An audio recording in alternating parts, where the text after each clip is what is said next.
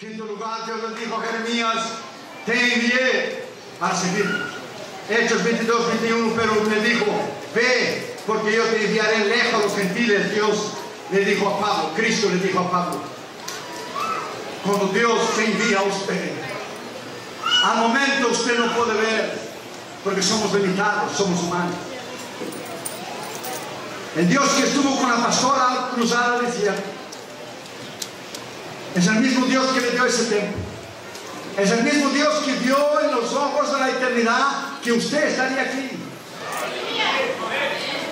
Se tiene que mirar que ese Dios es más que nuestra mente pequeña, limitada, diminutiva. Es el nombre de Dios. Una vez Agustín, el gran teólogo, caminaba al lado de la playa y él trataba de entender la inmensidad de lo que es la Trinidad. Dios en tres personas, Padre, Hijo y Espíritu Santo.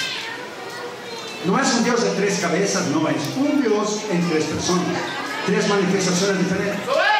Por ejemplo, el gobierno de Estados Unidos es un gobierno con tres ramas, legislativa, ejecutiva y lo que es eh, legislativa, ejecutiva y judicial, judicial, el poder judicial. El agua es un agua en tres estados, sólido, líquido y gaseoso. Y él trataba de entender lo que dice 1 Juan 5. Tres son que dan testimonio en el cielo.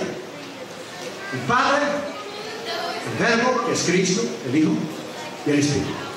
Un Dios en tres personas. ¿Cómo puedo entender esa grandeza tratando de razonar? Hay cosas que tú y yo no entendemos.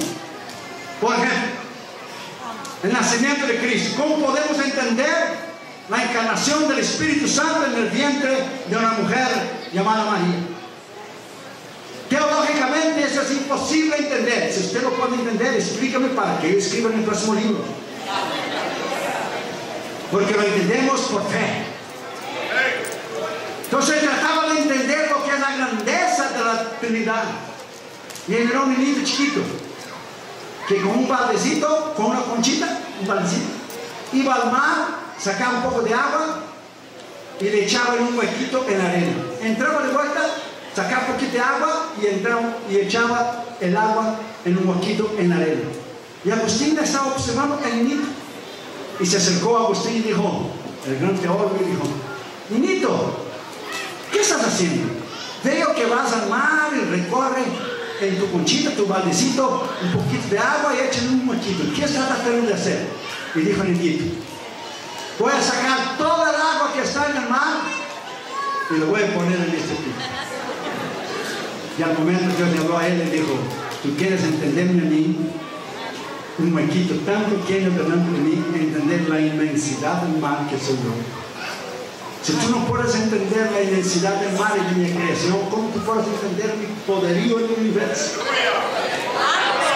¿Cómo tú puedes entender la grandiosidad de quién soy yo? El Dios que tú y yo servimos es tremendo. El Dios que tú y yo servimos es Jehová guerrero en batallas. El Dios que tú y yo